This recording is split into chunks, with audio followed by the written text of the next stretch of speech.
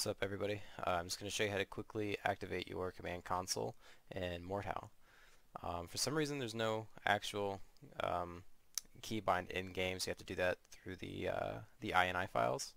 So basically you just want to go to your um, C drive, uh, program files, Steam, Steam apps, common, Mordhau, engine and then config and I'll have all this shit in the um, description as well all the steps.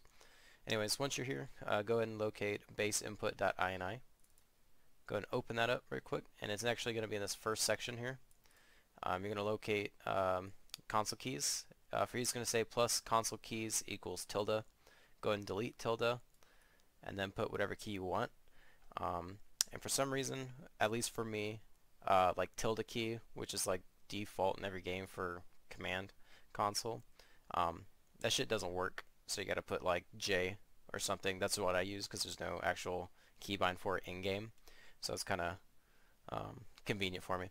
Anyways, go ahead and change that to whatever you, uh, whatever key you like. Um, anyways, you want to go ahead and exit and save, and basically you're done. Just want to go ahead and load up Mordhau.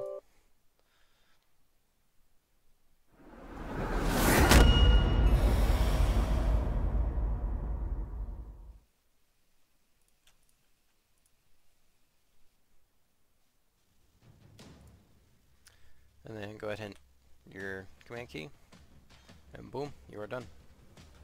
Alright guys thanks for watching. Hope this helped. Later